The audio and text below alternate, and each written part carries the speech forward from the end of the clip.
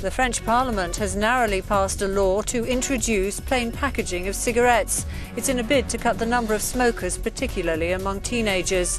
The new packaging will be introduced from May next year, but the measure has sparked an outcry among tobacco companies which are threatening legal action.